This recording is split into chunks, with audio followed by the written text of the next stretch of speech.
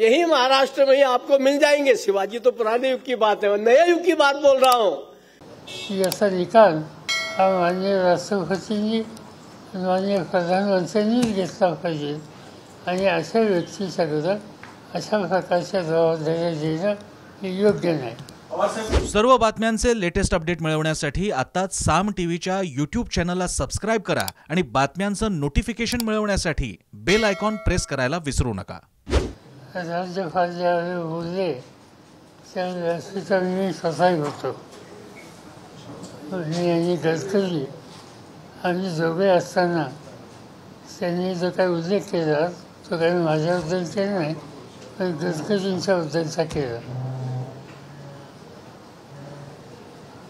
या राज्यपालांचं वैशिष्ट्य हे आहे गेले काही वर्ष आल्यापासून आपण बघतो हे अनेक गोष्टीवर वादग्रस्त विधान करण्याचा त्यांचा लौकिक आहे.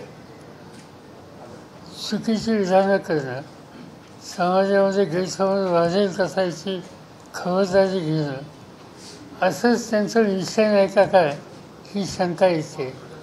कारण महात्मा ज्योतिबा फुले सावित्रीबाई फुले यांच्याबद्दलचा त्यांचा उल्लेख शिवछत्रपतींच्याबद्दलचा कालचा उल्लेख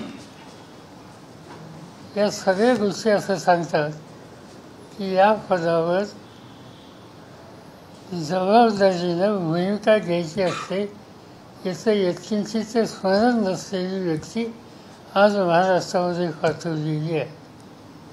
याचं आम्ही जास्त बोलत नाही त्याचं कारण राज्यपाल ही एक इन्स्टिट्यूशन आहे. आणि म्हणून त्या इन्स्टिट्यूशनची प्रतिष्ठा ठेवायची. म्हणूनच त्याच्यावर यापूर्वी जास्त कुणी बोललं नाही. पण शिवछत्रपतींच्याबद्दलचा त्यांचा उल्लेख हा फायद्याच्या नंतर आता त्यांनी सगळ्या मर्यादा सोडलेल्या आहेत. काल त्यांचं स्टेटमेंट आलं शिवाजी महाराजांच्याबद्दलचं कौतुक करणारं.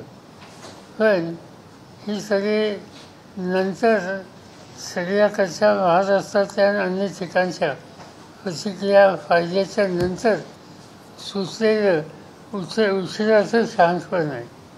आणि म्हणून मला स्वतःला असं वाटतं की याचा निकाल हा माननीय राष्ट्रपतींनी माननीय प्रधानमंत्र्यांनीच घेतला पाहिजे. आणि अशा व्यक्तीच्या अशा प्रकारच्या जबाबदाऱ्या देणं हे योग्य नाही.